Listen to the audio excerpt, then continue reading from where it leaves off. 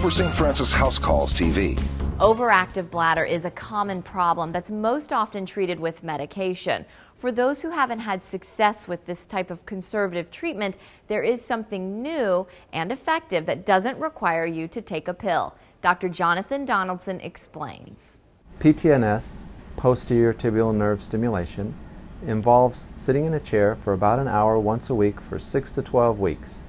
A nurse or a clinical assistant will place a small needle in the nerve just behind the ankle and a low level of nerve stimulation to these nerves that actually inhibit the contraction of the bladder. Another similar method is called sacral nerve stimulation. The sacral nerve stimulator is placed in the lower back or tailbone region. It is a slightly larger lead that is connected to a device that looks a little bit like a pacemaker.